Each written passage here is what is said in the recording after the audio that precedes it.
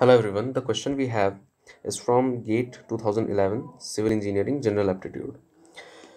Question कह रहा है log p is equal to 1 by 2 log q is equal to 1 by 3 log r. तो which of the following options is true? p square is equal to q cube r square, q square is equal to pr, q square is equal to r cube p या फिर r is equal to p square q square. First of all हमें एक बात पता होनी चाहिए कि if we have something like M log P तो उसे हम लिख सकते हैं log P to the power M first of all we need to know this और इसी प्रॉपर्टी का हम इसमें यूज़ करेंगे।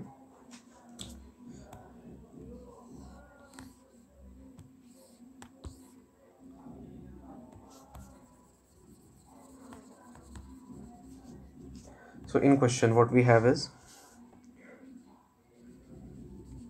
log p is equal to 1 by 2 log q is equal to 1 by 3 log r.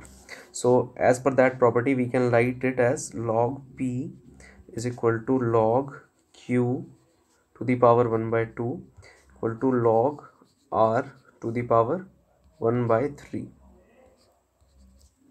clear?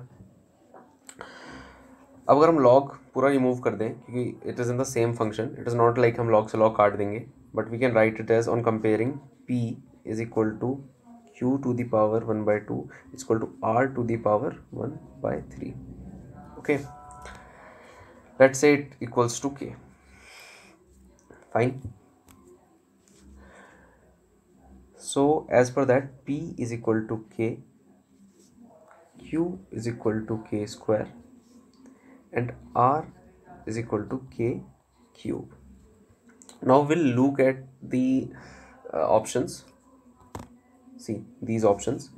And we can directly see कि अगर condition ऐसा है कि p इज़ इक्वल टू के है k is equal to Q square है and r is equal to K cube है।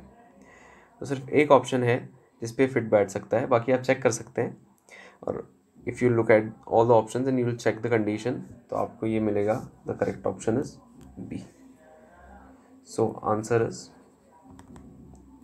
Q square equal to PR.